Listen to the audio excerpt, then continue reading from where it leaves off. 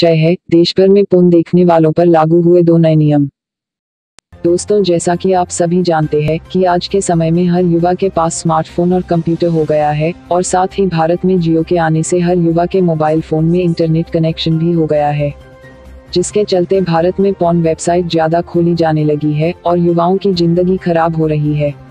तो इसी को देखते हुए देश भर में सरकार द्वारा पौन देखने वालों पर दो नियम लागू किए गए हैं। तो वो नियम क्या है? तो चलिए जानते हैं। फ़र्स्ट पोर्नोग्राफी सोशल मीडिया पर शेयर करने पर होगी जेल।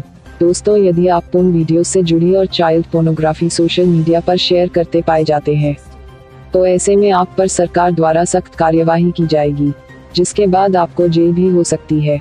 सेकंड अब जियो नेटवर्क से नहीं देख पाएँगे पोन दोस्तों, समाज में फैल रही अश्लीलता को रोकने और सुप्रीम कोर्ट के आदेशानुसार जियो ने अपने नेटवर्क पर 827 पोन कंपनियों की वेबसाइट पूरी तरह से ब्लॉक कर दी है।